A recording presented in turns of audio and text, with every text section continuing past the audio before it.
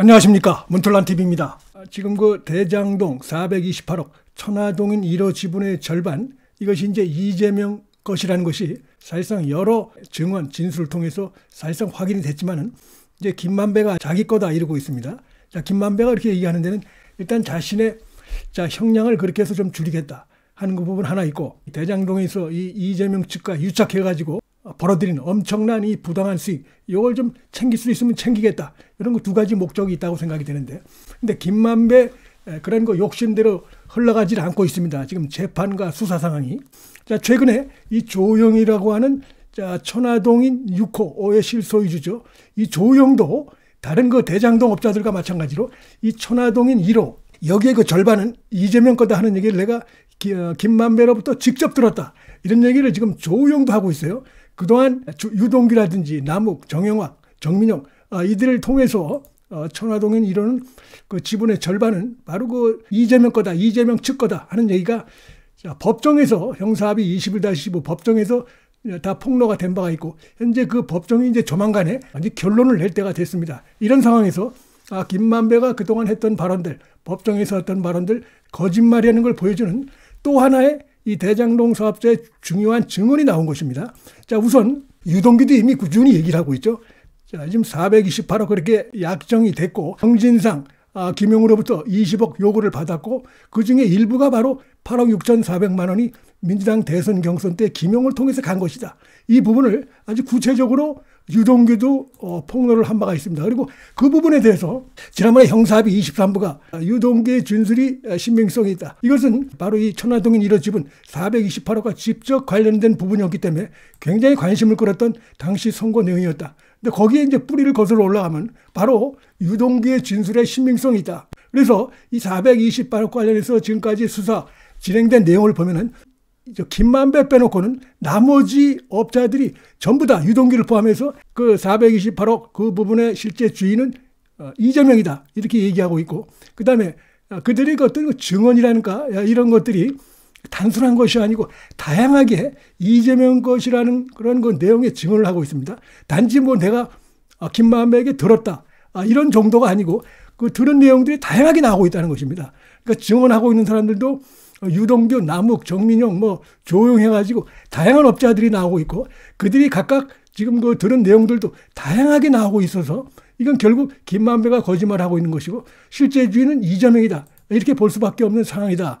아, 충분히 합리적으로 추론할 수 있다고 생각이 됩니다. 그래서 우선 어, 그동안은 공개되지 않았던 이 조영도 내가 직접 그 얘기를 들었다. 김만배로부터 직접 들었다는 겁니다. 그래서 이제 지금 형사합의 21-2부에서 제일 처음에 시작된 재판이 있죠. 이 대장동 업자들 해서 재판이 진행 중에 있는데 그 어, 재판의 내용 중에 바로 이 428호의 실제 주인이 누구냐 이것이 계속적으로 이제 법정에서 쟁점이 되어 왔는데 하나하나 그 부분에 대해서 어, 판결을 낼 수 있는 그런 쪽으로 실제 주인이 결국 이재명이고 이재명 측이다 이렇게 볼 수밖에 없는 쪽으로 수사가 아, 좀 곁들여지고 있고 이제 재판에 이런 부분들이 수사 내용들이 결국은 다 추가될 수밖에 없다 이렇게 생각이 됩니다. 지금 조영 말고도 남욱도 역시 마찬가지 그런 그 증언을 바로 그 형사합의 21-2부에서 쭉 해오고 있습니다. 야, 내가 2015년부터 천화동인 1호의 지분은 이재명 측 거다 하는 얘기를 알고 있었다. 그래서 검찰이 그걸 왜 이제서 얘기를 하는가 아, 이렇게 물어보니까 사실은 두려웠다. 어, 이것을 얘기했을 때 내가 혹시 잘못되지 않을까 하는 두려움이 있었다. 또 하나는 이재명이 대권을 잡을 수도 있다 하는 생각도 됐고 이재명이 대권을 잡게 되면 나한테도 도움이 될 수 있겠다. 그런 점에서 내가 뭐 얼마 투자해도 남 이건 남는 장사다. 어, 그러나 이제 사실대로 어, 도하기로 했다. 이렇게 얘기를 하면서 얼마 전부터 이 재판정에서 남욱도 그 사실을 얘기하고 있죠. 또 이런 얘기도 하고 있습니다. 여러 차례 이 김만배가 그 428억 그걸 일단 네 앞으로 좀 돌려놓을게 이렇게 얘기를 했다는 겁니다. 그래서 네가 그걸 쓰든지 아니면 저 이재명 측 이재명 일당에게 주든지 네가 알아서 해라.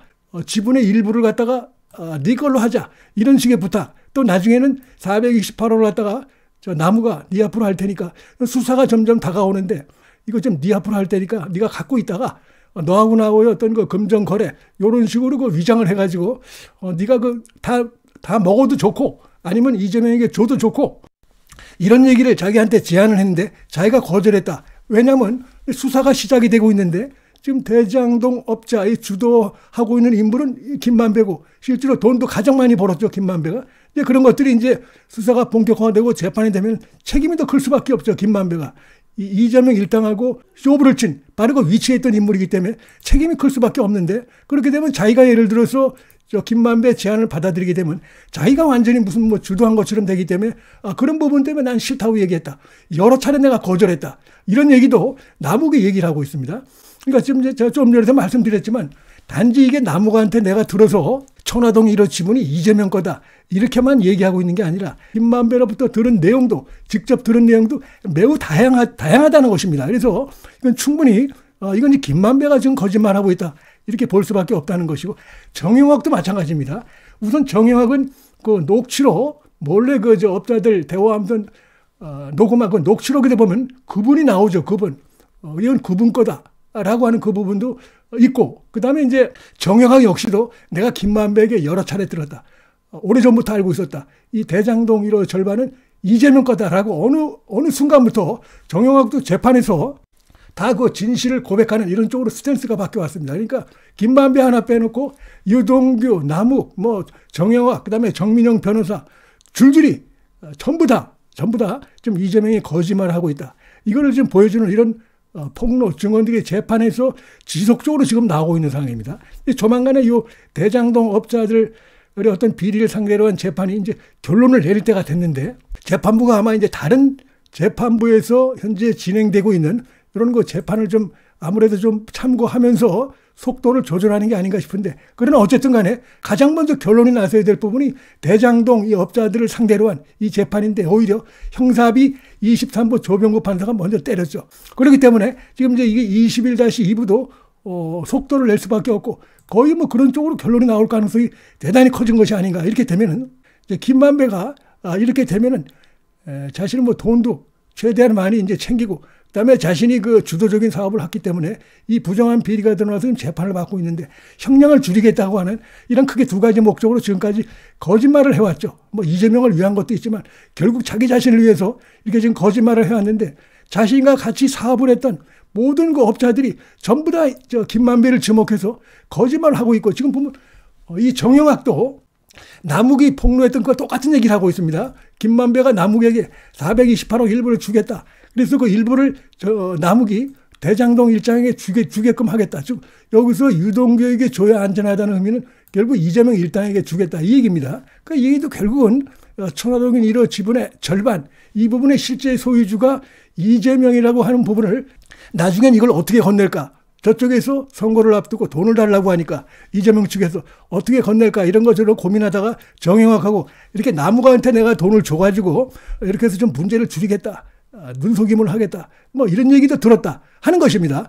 똑같은 얘기를 남욱도 증언을 하고 있어요. 그렇기 때문에 한 사람도 아니고 남욱도 그렇고 정영학도 그렇고 유동기도 그렇고 그다음에 정민영도 그렇고 조영까지도 오늘 보니까 조영까지도 내가 직접 김만배에게 들었다. 이렇게 되고 있는데 더 이상 과연 여기서 어떤 증거가 필요한가 이 생각이 들 정도입니다. 그래서 이 대장동 어, 이들 상대로 한 재판이 이제 막을 내려가기 시작하는데 여기서 일단 김만배에게 어, 중형이 나올 가능성이 지금 더 커졌다. 상식적인 재판부라고 하면은 지금 뭐 자기 혼자만 거짓말하고 있는 겁니다.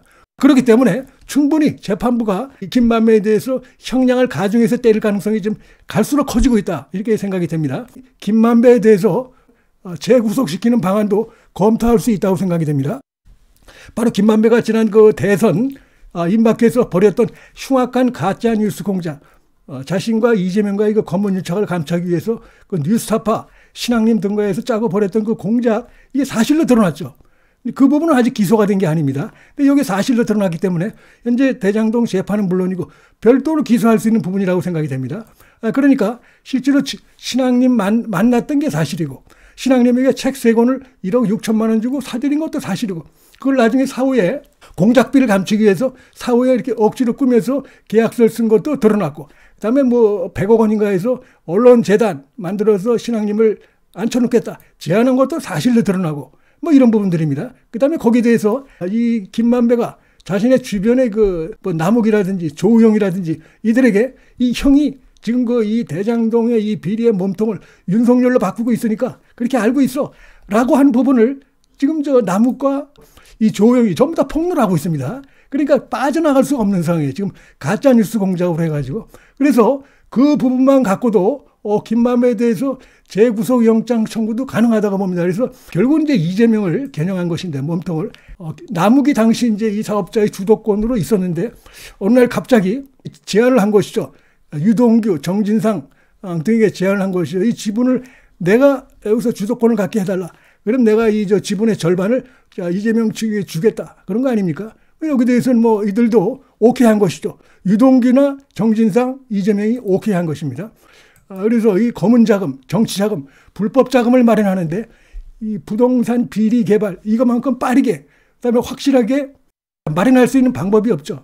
시장이고 인허가권자니까 어, 나름대로 이제 주변에서 이재명 시장님 큰 일을 하셔야 되지 않겠습니까? 큰 돈이 필요하지 않습니까? 그러기 위해서는 이것이 가장 확실합니다. 김만배 믿을만 합니다. 김만배는 당시에 또 이재명하고도 어, 이런저런 인연이 있는 그런 인물이기도 하고 그런 제안을 받고 어, 정진상이나 유동규 특히 정진상이 이재명에게 얘기했을 가능성이 대단히 높다고 봅니다. 왜냐하면 어, 인허가권자는 이제 이재명이고 그래서 그동안에 진행되어 왔던 이 대장동 사업을 틀어야 되니까 이재명 이 김만배 업자들 대장동 사업자들이 유리하게 이 성남 도시 당시 그 저 대장동 계획을 사업을 수정해야 되기 때문에 결국 아, 이런 식으로 해서 이 정진상이 거의 틀림없이 이재명에게 이 사실을 어떤 형태로든 보고했을 가능성이 대단히 높습니다. 그렇지 않으면 이런 일이 벌어질 수가 없는 것이기 때문에 수사가 이루어지니까 유동규의 얘기를 떠넘기려고 한 것인데 유동규가 다 토, 토소를 하고 있습니다. 그 다음에 틀어진 것이죠. 어, 꾸준히 검찰의 어떤 그 수사 이런 걸 통해서 이 428억 부분 사실상 그 수사에 어떻게 보면 구분응성 가까이 가 있지 않은가 이런 생각이 들고 이재명이 이제 무너지는 그 방식을 보면 도미노처럼 그 측근들이 하나하나 지금 무너지고 있는데 이제 김만배가 무너질 날이 얼마 남지 않았다. 지난번에 23부에 조병구 판사가 그랬듯이 21-2부의 이 판사도 어, 김만배 이게 반성하지 않고 진실을 감추려고 하는 이 대장동 관련은 살빵한 거짓말 그의 그 모든 그 업자들이 전부 다 지금 하나같이 얘기하고 있는데 혼자서만 거짓말하는 이 부분에 대해서 중형을 때릴 가능성이 높고 그 판결문은 그대로 이런 정진상이라든지 이재명 이들에게 치명타가 될 가능성이 점점 더 커지고 있다. 자, 이 말씀도 드리겠습니다. 문틀란 TV 여기서 마치겠습니다. 시청해 주셔서 감사합니다.